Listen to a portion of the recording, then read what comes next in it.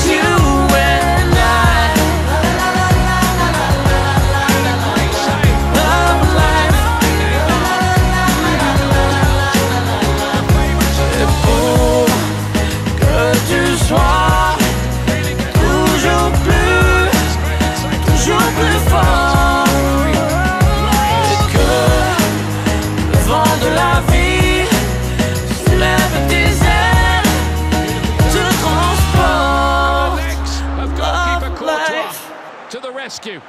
Kompany came across as well to close the gap. Nearly here.